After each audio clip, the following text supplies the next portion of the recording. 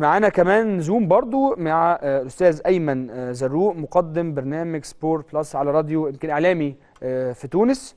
أستاذ أيمن مساء الخير على حضرتك. مساء الفل مساء النور. تحية ليك أستاذ وتحية لكل المشاهدين ولجماهير الزمالك. طبعا أهلا بيكم منورنا دايما وتحياتنا لكل الشعب التونسي ودي من أهم مكاسب البطولة العربية دايما أتكلم عليها. منورنا في قناة الزمالك. عايز أكلمك على طول على تقييمك لمشوار تونس في البطولة. هو مشوار عموما آه، نجم نعتبروه آه، إيجابي. آه، بغض النظر عن النتيجه نتاع مباراة غدا ضد المنتخب الجزائري سواء إن شاء الله تتويج للمنتخب التونسي أو لا قدر الله الهزيمة. عموما مشاركة المنتخب التونسي إيجابية وإيجابية آه، جدا. المنتخب التونسي آه، ظهر بنسق تصاعدي في البطولة هذه. حتى النقاط السلبية وهنا نذكر خاصة آه، مباراة المنتخب السوري على اثرها صاروا عديد الانتقادات على المنتخب على الاطار الفني وعلى اللاعبين. كان لها أثر إيجابي وشفنا الدليل على ذلك ردة الفعل خلال مباراة الإمارات سلطنة عمان وخاصة ضد المنتخب المصري. واليوم نشوفوا منتخبنا يلعب نهائي كأس البطولة العربية نهائي مستحق بشهادة كل المتابعين والنقاد والمحللين. عديد النقاط الإيجابية عديد الاكتشافات للمنتخب الوطني.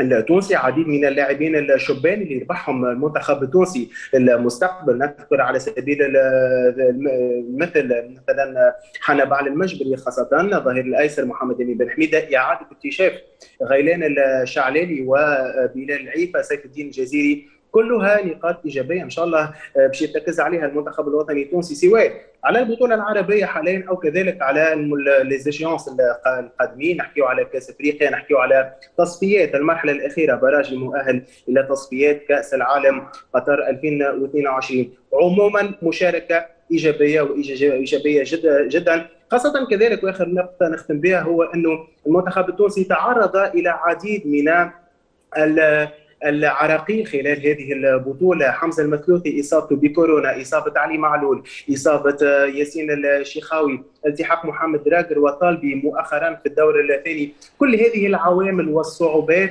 عرف كيف يجاريها الإطار الفني عرف كيف يجاريها الإطار الإداري للمنتخب الوطني التونسي. وعموما هي مشاركة إيجابية مهما كانت نتيجة غدا ضد المنتخب الجزائري بس كان في توقع إن المنتخب التونسي يوصل للنهائي؟ طبعا طبعا في توقع وأعتقد آه، أنا شخصيا وجهة نظري أو وجهة نظر عديد من المحللين والنقاد وحتى الجماهير آه، التونسية هو متوقع أن المنتخب الوطني التونسي يوصل إلى النهائي المنتخبات المشاركة لا يوجد منتخب أفضل من آخر.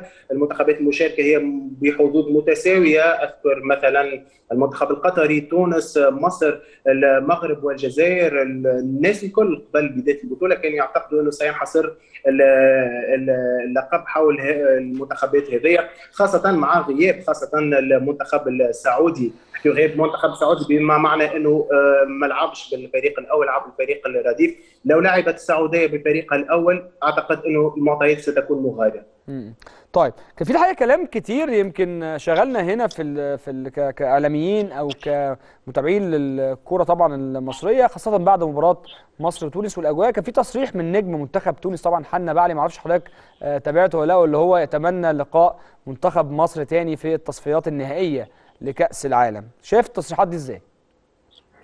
هي تصريحات أصلا آه، غير موجودة.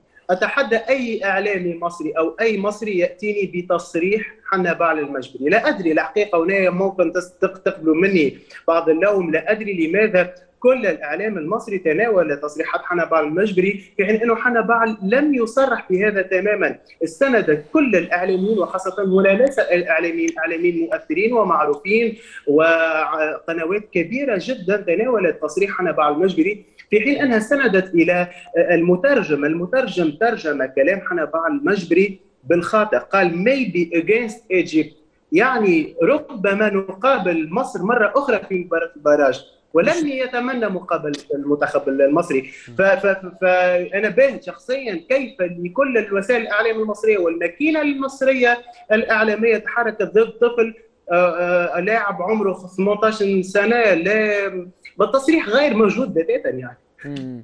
طب يمكن دي فرصة كويسة إن حضرتك موجود معانا عشان توضح لنا الصورة يعني الكلام اللي اتقال وحصل. حقيقة حقيقة هنالك غضب هنا في الشارع التونسي وفي الإعلام التونسي حول تناول الإعلام المصري على حنبال المجبري الحقيقة هنالك تحامل بين الظفرين على حنبال المجبري السيد لم يصرح صرح قال ممكن سنواجه المنتخب المصري. فالمترجم ترجم هذا بالغلط وكل الإعلاميين تناولت كلام المترجم في في المباشر. والحقيقة معناتها أستغرب copy paste copy paste من كل الإعلاميين المصريين دون تثبت من من التصريحات اللي لو كان نسمع تصريحات حنبال باللغة الإنجليزية ماذا قال؟ تسمع إنه مقال لم يقل هذا؟ بتاتا لم يكن يقول هذا آه تماما. يعني الحقيقة نشوف ثم هجوم من إعلاميين كبار برشا على حنبال المجبري حتى حتى طريقة يعني الطريقة فيها نوع من الاستهزاء. حتى لاعب أبو الشعر ده يعني إيه يعني لاعب أبو الشعر ده؟ اسمه حنبال. حنبال المجبري وحنبال هو القائد القرطاجي الذي كان كابوس الرومان. اسمه حنبال وليس أبو شعر ولم يقم بهذا التصريح. طيب وعامة والله يمكن حضرتك قلت كلمة إن لأ كل الإعلاميين لأ بالعكس دي فرصة كويسة جدا إن حضرتك موجود أهو. وبتوضح لنا الصورة بشكل يعني واضح إنك ت... عندك الفرصة كاملة إنك توضحها وفي الآخر ممكن يكون نقدر نقول إيه سوء فهم لكن بشكل عام التوضيح مهم لكن الحقيقة لعيب مميز وإن شاء الله يكون ليه مستقبل كبير. كنت عايز أسألك عن حاجة طبعا مباراة بكرة مباراة مهمة. توقعاتك ليها إيه؟ توقعاتك مين هيفوز؟ مباراه مفتوحة مباراه مغلقة زي ما بنقول عليها دايما بحكم النهائيات ساعات بيبقى ليها حسابات أخرى. هو لن أتناول جانب بطبيعة الحال العاطفة تقول إنه إن شاء الله المنتخب الوطني لكن إلى جانب العاطفة أعتقد غدا المباراة ستكون بطبيعة الحال 50 50 ستكون مشابهة تقريبا لمباراة تونس ومصر طغى عليها الطابع التكتيكي. أعتقد إنه سيطغى عليها الطابع التكتيكي. أعتقد إنه لن تكون هنالك مساحات سواء باش يتركها المنتخب التونسي للجزائر أو العكس بالعكس. مباراة متوازنة. أتمنى التوفيق للمنتخب الوطني التونسي. شخصيا أعتقد إنه المنتخب الجزائري ما عنده حتى شيء أفضل من المنتخب الوطني التونسي. باستثناء الثلاثي الهجومي بليلي بغداد بنجاح وياسين الإبراهيمي. حقيقة خط الدفاع وخط الوسط نتاع المنتخب التونسي أفضل من المنتخب الجزائري. فرديات المنتخب التونسي أفضل من فرديات المنتخب الجزائري.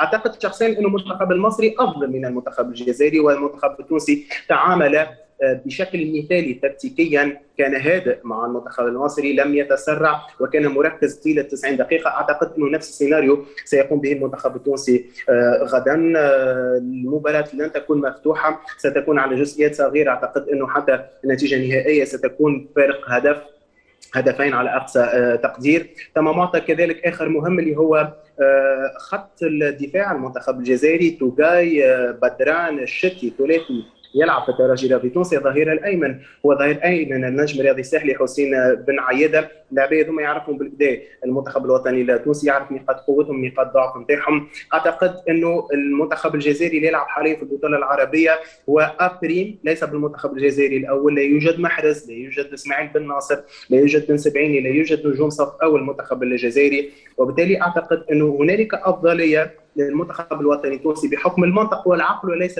بحكم العاطفة.